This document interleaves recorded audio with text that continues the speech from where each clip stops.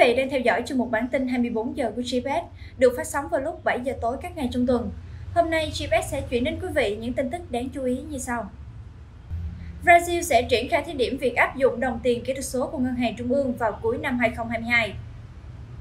96% thị phần và phần lớn khối lượng giao dịch của toàn thị trường là do một số sàn giao dịch crypto hàng đầu chiếm giữ. Bitcoin ngày càng có mối tương quan chặt chẽ hơn với chỉ số Nasdaq 100. Gã khổng lồ thanh toán Mastercard đăng ký bản quyền thương hiệu về tiền kỹ thuật số và Metaverse. Nội dung chi tiết sẽ được chúng tôi chuyển đến quý vị ngay bây giờ. Mở đầu bản tin hôm nay, Brazil thí điểm CBDC vào cuối năm 2022. Chủ tịch Ngân hàng Trung ương Brazil xác nhận rằng nước này sẽ thí điểm triển khai áp dụng đồng tiền kỹ thuật số của Ngân hàng Trung ương CBDC vào cuối năm 2022.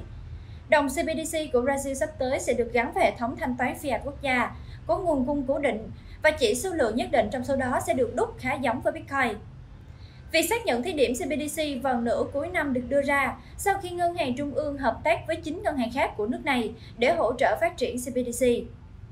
Ngoài việc tập trung vào phát triển CBDC, Brazil cũng đã giới thiệu một dự luật tiền kỹ thuật số vào cuối tháng 2 năm 2022 để điều chỉnh thị trường crypto. Dự luật đề cập tới các khía cạnh khác nhau như hoạt động môi giới, hoạt động của sàn giao dịch và thẩm quyền của chính phủ liên bang trong vấn đề liên quan đến thị trường crypto. Tin tức tiếp theo trong bản tin hôm nay, các sàn giao dịch hàng đầu chiếm 96% thị phần.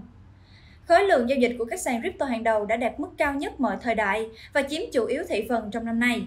Theo số liệu của công ty phân tích Crypto Compare công bố vào ngày 11 tháng 4, các sàn giao dịch này đã nâng thị phần của họ từ 89% vào tháng 8 năm 2021 lên 96% vào tháng 2 năm 2022.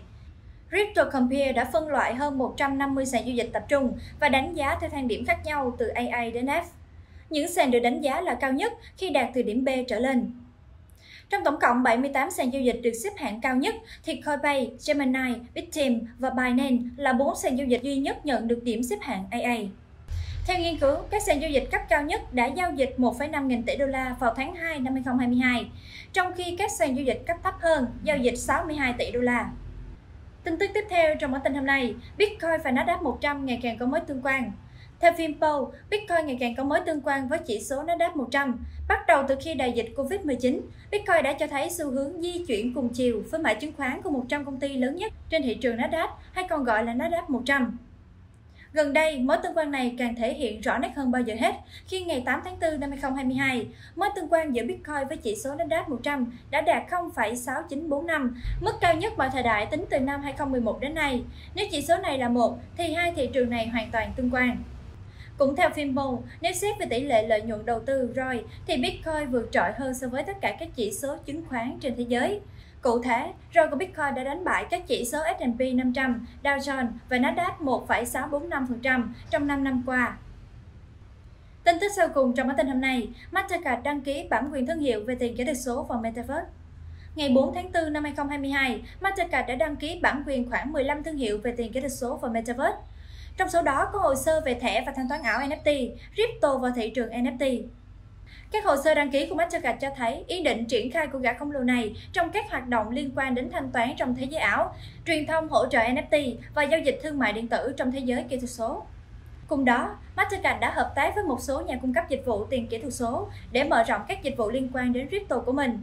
Trong số các đối tác này, có các sàn giao dịch tiền kỹ thuật số hàng đầu như Gemini, Uphold, Coinbase, Binance và một số sàn giao dịch khác. Tháng trước, Mastercard đã tiết lộ sự hợp tác với BTC Market, sàn giao dịch crypto lớn nhất của Úc, để cho phép khách hàng thực hiện thanh toán tiền số qua chuyển khoản ngân hàng. Tháng 2 năm 2022, Mastercard cũng đã thuê 500 nhân viên mới để tổ chức các cuộc thảo luận với các ngân hàng và nhà bán lẻ về việc sử dụng công nghệ tiền kỹ thuật số và NFT. Cảm ơn quý vị và các bạn đã quan tâm và theo dõi những thông tin của GPS. Hãy like, share và subscribe kênh để nhận được những thông tin mới nhất. Xin chào và hẹn gặp lại!